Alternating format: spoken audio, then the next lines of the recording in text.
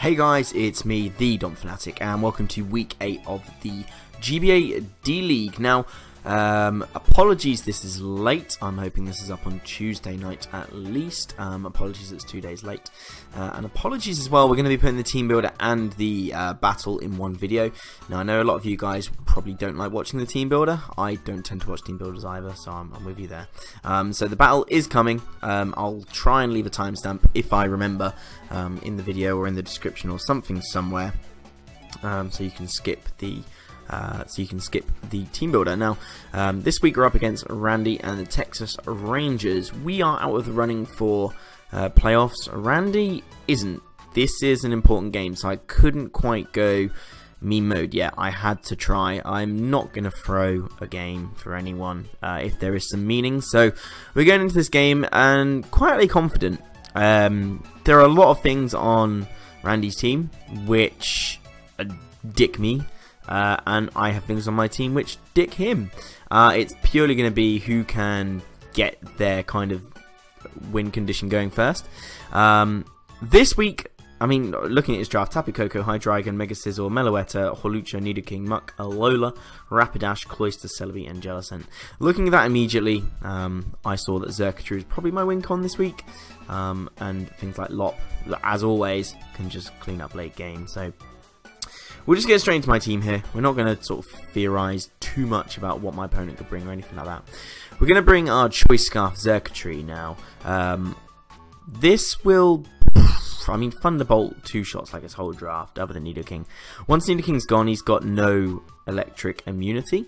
Um, I think he has a resisting Hydreigon. I say a resisting Tapu Koko, but every time Tapu Koko comes in, it gives me the electric terrain. I am modest. Um, I don't even need to be timid to outspeed. I think the fastest thing on his draft is Koko. Yeah, so I think modest with almost max investment outspeeds max speed Koko. Um, so I get a modest Thunderbolt off. I can take like any hit Koko wants to throw at me. I can probably two hit KO Koko with Thunderbolt, which is disgusting, and especially if I have Beast Boost going on then um, I'll be doing massive damage. But uh, I'm running Volt Switch as well for momentum, if I can't kind of get set up yet. I've got Dazzling Gleam mainly for the Hydreigon. It was a real toss-up between Hidden Power Ice, Dazzling Gleam, and Signal Beam.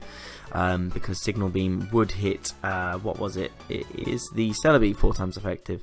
Um, Celebi seemed to be like his best answer outside of Nidoking, and I felt like Nidoking was definitely coming. Celebi maybe not so much because I do have a lot of things that can deal with a Celebi on my draft outside of Xurkitree.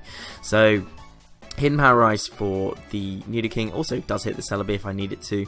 Um, it also hits the Hydreigon if worst comes to worst. Probably two it KOs it as well because is that you know that powerful. Um, but Dazzling Gleam is there as well. I mean, once any of them three checks he has to electric are gone, four checks to electric are gone, I can just start, I mean, mainly Nidoking, I can just start clicking Thunderbolt and doing damage. So, Xurkitree is probably going to be my win con and will be the one that does a lot of work this week. Uh, second up, we're running Latias. Um, I think Latias was actually one of the last things I put on the team. I just, I, I had to bring it because of defog, basically. Um, we're running Timid with enough speed to outspeed a Hydreigon. Um, some special defense investment to live, I think, hits from Nidoking as best as possible. Um, because obviously Psychic will do a lot of damage, if not kill that thing. And Dragon Pulse will also hit the um, Hydreigon. I do struggle against the Mega Sizz, that's to be expected. I don't have the best Mega Scizor switch-ins. Originally I had Cofagrigus in this team, um, but my front office persuaded me to change it to Clefable, um, and we'll see how that plays out in the game because it does have an effect. Um, but basically, Latias is only here for Defog. It was this or Skuntank, and I felt like this thing could do more this week. Um, next up, we have got the um, Volcarona. Now, Instead of, excuse me, that's Discord. You do not want to be seeing that. Um, pressing the wrong button there. And um, punch myself in the face. This is all going wrong now. Anyway, comedy sketch over. We're going back into Volcarona, Psychic Tailwind, Bug Buzz, Fire Blast. Volcarona does massive work to uh, Randy's team. I don't need the Quiver Dancers. Tailwind will be really, really good for me. Um, he has got Hawlucha, which could go Scarfed. He has got uh, Tapu Koko, which could go Scarfed. He's got Rapidash, which could go Scarfed. He's got uh, Celebi, which could speed time me if he really wanted to. Um, a few things that outs can tie or outspeed me at plus one. So we decided to go Tailwind because the plus one special attack isn't too important if I can get some some rocks up um, early on in the game. Z Fire Blast, he has like zero switch-ins other than Jellicent. I think even then that'll still take like half, which is gross. Um, Rapidash, if he brings Flash Fire, is also a switch-in this thing, but I imagine after Stealth Rocks it won't take a Fire Blast and a Psychic. Um, Bug Buzz, I mean, it kills Celebi, it kills the Hydreigon. Um, Scizor switches in, sure, but who switches Scizor in on a Volcarona, especially when I take Bullet Punch super well. Um, Hawlucha could be a bit of a problem. Nidoking, I mean, Fire Blast will do a huge amount of damage to it. Again, Alola Muck, um, if it's bulky with Assault Vest, I won't be doing too much to it, but I will be able to do other things. Um, you know, Tailwind just in general as well, team support wise, would really help me with uh, Krookodile. If Krookodile gets up behind one of those Tailwinds, looking at his team, he really, really struggles against Krookodile. Um, it's just Krookodile's natural speed doesn't quite do it for me this game. We'll go over that in a second. But we are running almost max speed to outspeed the Hydreigon. Um, don't know why it's 244. I'm pretty sure I could have run less, but that's what we've gone for.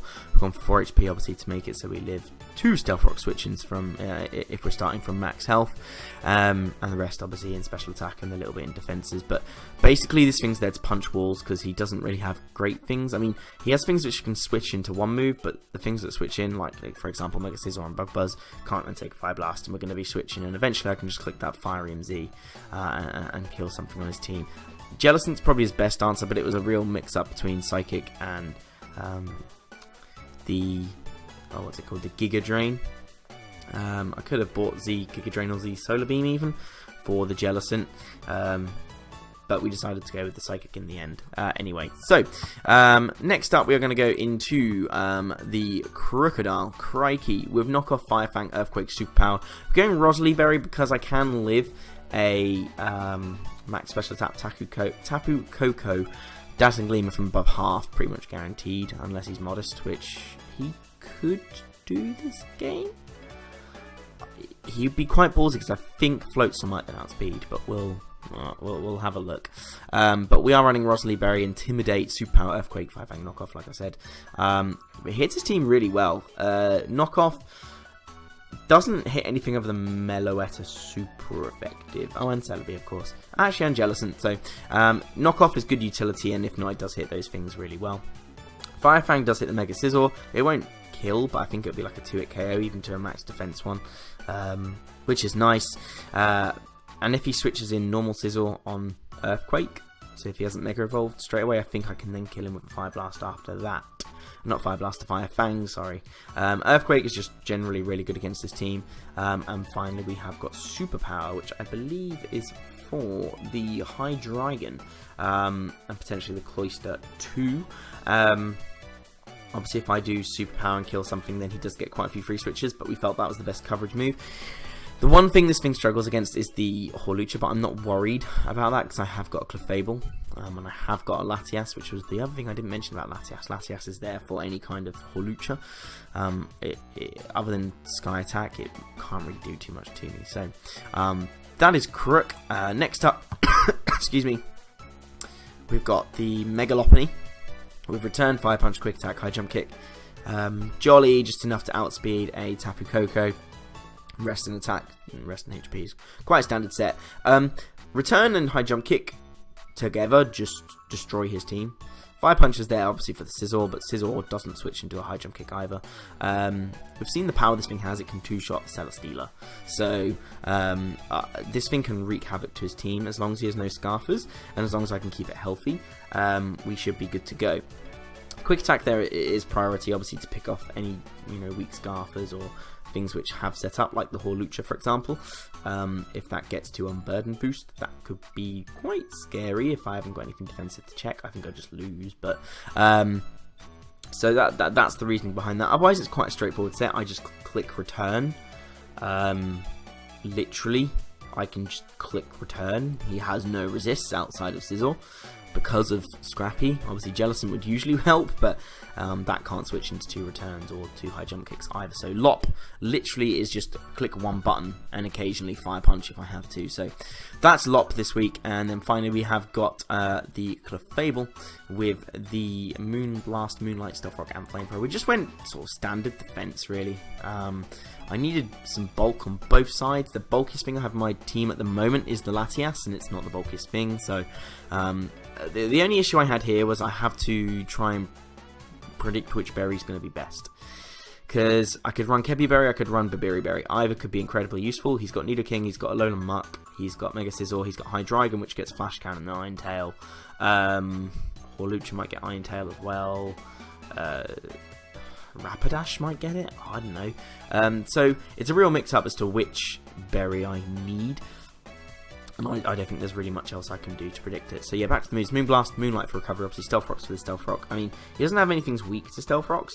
Actually, no, Rapidash and Cloyster. Other things he's got weak, but I don't really expect either of them. I did suggest at one point to my front office that defensive um, Rapidash could be a thing to, to take on Volcarona, but um, th that, that would have been interesting to see. So Stealth Rocks won't get huge damage, but the chip damage every single time, um, especially if he's U-turning or Volt Switching with Tapu Koko, will be fantastic. Um, so there's that, and then Flamethrowers there, just so Mega Scizor isn't like a free switch every single time uh, Clefable's in. Because Clefable could be in quite a few times in this game. So that's a, I say a real quick, it's quicker than normal overview of the team. Um, I will quickly meet you over with the battle. Warning, the battle doesn't take very long at all, so I'll try and make it slow and try and explain things as best I can, because it also happened like a week ago. So I will see you in a second or so. Okay, guys, we are here with the battle. Now, um, as you can see, I should I'll, I'll, I'll switch the sides over when I start the, the battle because I'm on the other side, which doesn't make sense. We can see uh, what Team Randy has decided to bring here. He's got the Tapu Koko, the Hawlucha, the Nido King, the Jellicent, the Alolan and the Mega Scizor. Now, um, one surprise thing I did see was the Jellicent. I really didn't expect to see Jellicent, um, mainly because I had so many things which deal with it, um, i.e. Xurkitree, Krookodile, Megalop. Um, three of the, well, I bought all of them, so I really thought that was a bit weird. Um, I don't really know his reasoning why. I mean, it is his best answer to Volcarona potentially. So, um, but but you know, I've got ways of dealing with it. The rest, I, I really expected. The only reason I expected Hawlucha is because Randy just loves that thing and brings it every week. I think he's only not brought it out of these eight weeks, including this week. Uh, he's only not brought it once um, and I think he lost. So that might be why he brings it, because it's like a good luck charm. Koko is Koko. you, you put it on any team and it'll do work any week. Um, you can probably bring it like against a team of six ground types and it would still win. Um, Nidoking I expected. Um, I expected like you know all of these, the two poisons and the steel, because Clef would be a huge issue without it. But um, I, I kind of looked at this team and I was like, okay, once Nido King goes, Xurkitree kind of wins are a little bit. Um, and when I say a little bit, I mean a lot. Um, the only other issue here would be the Alolan Muck. I need to weaken that. I need to try and avoid it from popping its berry. Or if it's Assault Vest, I just need to weaken it. Um, and the Sizzle, if I can get that weakened just a little bit more, or just like whittled a little bit, um, Xurkitree will be cleaning up, especially if I pick something off with a Thunderbolt. Um, say, for example, if I came in against Hawlucha, which wasn't boosted, or this Jellicent, he would have a real hard time switching in. So I was incredibly happy um, with the team that he bought. Now, we're going to put it on slow. Um, I'm hoping that's slow enough and we're not going to have to go to very slow, but the game doesn't take very long. Um, because both of us do have things, like we said, that kind of screw each other over, and that does kind of reflect in this game, as you'll see. So let's just get straight into this match. Um, I'm going to switch the sides because I'm on the other side, and uh, we see that um, Randy does lead with the Nidoking. I lead with the Krookodile because Krookodile has a very good matchup, like literally can hit all of these mons super effective. I'm going to click knock up because I expect him to switch out here into the Hawlucha um, or the, uh, the, the, the, the Jellicent. Um, but he does decide to set up rocks, and I kill this thing with a knockoff and an earthquake. Now, I'm going to pause it here because you know from about 30 seconds ago I said once Nidoking goes, he struggles against Xurkitree. and he let Nidoking drop. Now, either that was his game plan, or he really didn't think about how much of a threat Xurkitree was against his team. So, I was incredibly happy. I kind of like freaked. I kind of squealed in Discord. Um, I wasn't on chat, but I kind of typed. I was like, "Oh my god, he let it die." Zerk's in. Um, the only thing that now stops Zerk is the Alola Muck if he's like especially defensive assault vest kind of thing. So Zerk's inside. Um, all he's got to show for his Nido King's appearance is Stealth Rocks, and I do have Defog, and spoilers, I am able to defog these away, so that the first two turns went absolutely perfectly for me. N knockoff was like a like no drawbacks play. Um, I could have had something to hit this Hawlucha, like Stone Edge maybe. It's not super effective, but it'll still do decent damage. Um, he doesn't want this item knocked off. I mean, I think knockoff might have killed from that range. Um, there, again, if I wanted to do it. Um, which might have meant like a, a, switch would be a bit more risky. So that's probably why he sacked this thing off, um, which is, fair enough. But on this, you know, in the same time, it does stop my scarfed Xurkitree. So um, that happened. I freaked and squealed a bit like a little girl. Um, but he does go into Koko now, and I, I, I think I stay in here because I'm like, okay, he U-turns. I should have calculated how much a U-turn does, um, because this now puts me at half, and I won't die to another U-turn if I get Intimidate off on this thing. And Dazzling Gleam um, has a very low chance of killing me at this range of health. Um, so I decide to stay in, and I get like a free knockoff off on something, um, or a free Earthquake. Um, Earthquake's going to be my play, because if I can kill this Koko, I, I, I am so happy, because I get the Electric Terrain, I can just bring in Xurkitree and click Thunderbolt and pretty much win um, this early in the game. Um, but I'm going to hit Earthquake and I'm going to, excuse me, I'm going to just get a, a, good amount of damage off on something uh, on um, Randy's side of the uh, battle, or side of the team, side side of the whatever, you know what I mean. Um, so we're going to resume here. I do stay in, and uh, the amount of health I am, if I can get rid of rocks, I can live a Dazzling Gleam. Um, I have a good chance of living a Dazzling Gleam anyway. So uh, He does bring in the Jellicent, which is really risky. Um, an Earthquake does a huge amount of damage now. Um, we don't see leftovers here, so I'm thinking it could be Colberry, and Crocodile is still going to be very useful. So we're going to bring in Latias, because one, I'll take an energy, uh, a if I need to, uh, and two, I can get a free defog off. Now, he predicts that, I think, um, and I'm happy just to let Latias die, because Latias was here for the Nidoking, and that's gone. Um, and I get rid of the rocks, and he can't get them back up. Um, he has nothing on his team which puts them back up. So he does get U-turn, he does kill me. That's a shame, but oh well. Um, so I do die, and I believe he goes into his Tapu Koko here. Now, oh, we we know what's going to happen. I'm going to bring Crook, and I think I, you know, I've got a really good chance of winning this exchange here because he doesn't know I'm Rosalie Berry, and with the Intimidate, U-turn can't kill. Um, if he wants to U-turn, that's fine. He's got to bring something in again, which um, will take an Earthquake and he doesn't have much for that. So, um, I'm quite happy to stay in here and click Earthquake. Now, he does click the Dazzling Gleam button, and we are talking about this during or after the game. He hits me with Dazzling Gleam, and he kills me. Uh, the roll was 42 to 50%. I was on 49, and he gets the high roll, which means he now basically um, killed my Crook, and Crook was so important in this game because it was my best answer to killing Muck. Uh, it was my best answer to killing. Uh, it was a good answer to killing this Koko, and uh, it was a good way of killing the Jellicent. Now the Muck's unscathed. Uh, I haven't got any Earthquake mons left. I haven't got anything that's super effective. Um, that's a bit of an issue, and that roll really screwed me over. Because if I'd have killed this that Koko again, I bring in Zerk on the electric terrain, or the one turn of electric terrain I have left, and just hit a massive Thunderbolt, or at least a Volt Switch, because I can do that if he wants to switch around. Um, so that's really annoying that that happened. Um, but at this point, I've only seen him click U-turn, and I've only seen him click uh, Dazzling Gleam. Now, I rather stupidly make the assumption he is Choice Scarfed, or at least special, because if this isn't Scarfed, uh, he has nothing to outspeed my Lop, and I don't think he'd be Choice Scarfed. Hawlucha, he could very well be, um, but I don't think he will be. So I make the aggressive play, and I'm going to go into my, um, into my, what's it called, Volcarona. Now, um, he's at minus one attack, so I'm thinking, okay, if he wants to wild charge in this electric terrain, that's fine, I'll probably take it, because of that, that drop. Um, we're going to click resume, and here he goes for the Z uh, whatever, the Z Wild Charge, I'm assuming. Or no, sorry, the Z Thunderbolt or Thunder or something like that, and it just kills me. Um, no, it is Wild Charge because we will see later on he does have Wild Charge in this thing. So I don't know if that was a roll as well. Um, I haven't done the calc, but he's at minus one attack. So unless, I mean, he has U-turn, Dazzling Gleam, Wild Charge.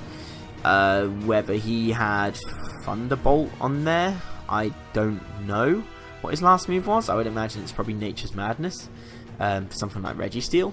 Um, but yeah, that that kind of killed me. I don't know if it was the wild charge, and if it is, I'm going to be very upset because I didn't think about it at the time. But I have a minus one attack, and uh, it's probably another roll. To me, it would make sense to be another roll. But um, you, you win some, you lose some. So uh, if that was a roll, that's two rolls I lose in a row, and this Koko is still sitting here. Uh, like an absolute threat. So I'm like, right, screw it. I have to bring in Lop now. No, I have to bring in Clef. If I can get some chip on this Koko, um, Lop beats it. Um, and I know it's not Scarf now because I switched up moves. So that U-turn does nothing. Um, and I think he brings in the Muck here. Yeah, it's, it's like a safe switch at this point. Um, I go, he goes to the, oh, sorry, I go for the Moonblast. It does like nothing, so I'm pretty sure this is Assault Vest because um, just to so little, and it's a neutral hit, and Clef isn't weak. So we're going to go into Lop here, and luckily he doesn't get the poison. Um, but I do now get to Mega Evolve, get a bit of extra bulk, bulk, I can't speak now, so I can actually live like another Poison Jab, and plus I'm living at 53 anyway, so he decides to bring in his Jellicent, he's going to sack it off, which is a smart enough play, and High Jump Kick doesn't even kill it, and we find out he's Rocky Helmet here, um, and I'm just going to click Quick Attack, because I, I, don't know, I think this can get Tackle Jet, um, and just kill it off. Um, so that thing goes down, but now annoyingly I'm in a range of Bullet Punch. Um, in comes the Sears, I I could have switched into Zerk here, um, but he does for the bullet punch and does kill me now. What this does allow me to do, while it's, like, I mean, I outspeed the rest of his team with Xurkitree here. This Scizor can't kill me. I don't think a U-turn and a Bullet Punch will kill me. Now, I give it the Thunderbolt. That does a lot of damage. So if I'd have got some chip on this Scizor, I would have been in a really good position um, earlier on in the game to just bring this thing in and start clicking Thunderbolt. I, as you can see, I do get the paralysis, which is useful. Um, because what actually happens is he does get fully paralyzed. I spoiled it. There you go. So he doesn't get any damage off on me now. Um, I don't know what you click there. Probably U-turn. I'm going to click Thunderbolt again and kill this thing off. Now, here comes the Beast Boost. Now, if he brings in Koko, he gives me the Electric Terrain. He can do some good damage to me, but he's only helping me win. Muck comes in. Um, basically, I had to stay in. I get the paralysis again, and I'm like, oh my god, am I about to win this game because of hacks again? I beat I nearly beat Aster. Sorry, not win it again. Nearly win it again because I nearly beat Aster with the freeze um, on his crest. If his muck gets fully paralyzed here, he loses um, straight up because if he brings in Koko, I'm at plus two. I'm modest. He gives me electric terrain. He won't be able to kill me, and I outspeed him. The Hawlucha just dies unless he is, um, unless he's, what's it called? Focus Sash, that's the one. So if he gets fully paralyzed here, this Muck just, he just loses. And the fact I got two 10% in a row, that's really lucky for me, really unfortunate for Randy. So Hacks literally gets to dictate whoever wins this game, this one turn he does get the knockoff, and that is the right play, because if he'd have poison jabbed, he'd have also lost, but he knocks off my choice scarf, so now, obviously, uh, both his ones outspeed me, and will be able to kill me off, which is sad times, but we did get the beast boost, we're now at plus 2 speed, uh, 2 special attack, if only you could get the speed boost on Xurkitree, I'd been set, um, but, you know, Koko can come in now, quick Dazzling Gleam, and kill me, uh, and obviously, if I was at full HP, that would not have even been close to killing me, so, that's a shame, um, and now in comes Clef, now Clef still has a chance. This is where I find out he has Wild Charge and I'm like, oh crap.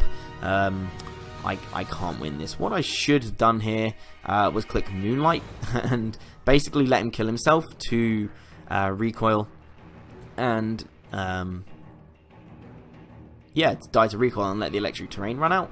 And then I could have taken on potentially the Hawlucha. Um, so I could have still won at the end here if I had healed rather than just tried to kill this thing outright. If I'd have just let it hit me with three or four wild charges, I could have killed it. Um, I would have had to have tried. I mean, I would have probably, I would have literally sat there and clicked Moonlight eight times, let this thing kill itself. Um, with the uh, what's it called? Just just to give myself the best chance against the Hawlucha. So uh, I got the special attack drop as well. So I mean, if he wanted to start using special attacks, it wouldn't be doing as much damage. So, you know, uh, in, in, the end, Randy did win. He gets the 2-0, and uh, I think that did help him a little bit try and get towards the playoffs. Um, and I think it does eliminate a few people who are potentially able to get in. Uh, it stops them from getting in. So, or, or, if it doesn't stop them, it makes it really hard for them. So, unfortunately, we didn't win there. We had a good chance. Um, nearly brought it back for us, but because of Crook dying to that roll, we lost. If Crook didn't die to that roll, Koko would have been dead, and I would have been a very happy bunny. But that didn't quite work out as planned. Um, but it's a shame, you know, it swings and roundabouts. We get them powers, he gets them rolls. So, thanks for watching the video, guys. I appreciate it's been like quite long, but hopefully you did enjoy this battle. Next week, uh, I, am up against PaPaSea. I'm actually about to battle him shortly after recording this video, and uh, I'll give you this now. It's going to be full of memes. We have agreed to a, a full-on meme battle. Nothing. I mean, I'm guaranteed 8 for this point. He's guaranteed 9 for this point. He can't overtake me because he hasn't won a game yet this season. Um, and we're just going to meme it out. And I have got some spice for you guys. So um, that will hopefully be on Wi-Fi as well. Um, because we want the Wi-Fi League to be on Wi-Fi, and not Showdown. So I've rambled on for long enough. Thank you for watching this video, guys. And I'll see you next week for the final week of the D-League. Take care.